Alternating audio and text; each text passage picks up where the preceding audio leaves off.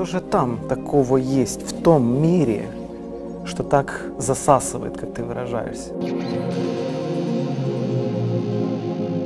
Я успокаивала себя, что я только чуть-чуть. Я чуть-чуть отойду от церкви, но я знаю, что я вернусь, потому что я без Бога жить не могу. Вытащили меня из машины уже без ног, без жизни и без а, сознания.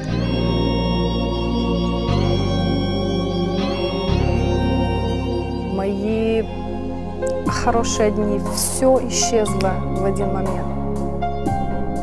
Если бы мне сказали, вот, вот у тебя есть такая власть вернуться 10 лет назад, вернуть твои ноги, вернуть тебя такой, какая ты была, и жить так, как ты жила, я бы не вернула. Ну что Бог дает? Ну что? То, что Он дает, это намного, намного больше того веселья.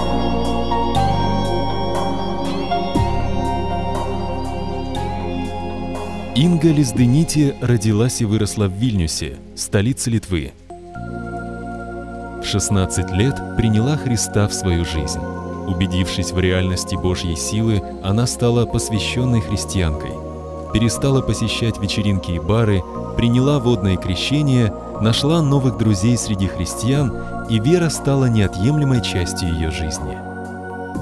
Инга была так счастлива с Господом, что регулярно молилась «Боже, не позволь мне никогда Тебя оставить».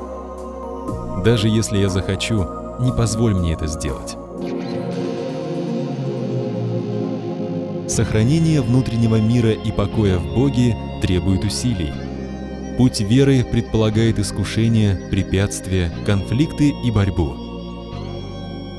Через четыре года после встречи со Христом Инга обнаружила себя на дороге отступничества абсолютно беспомощной.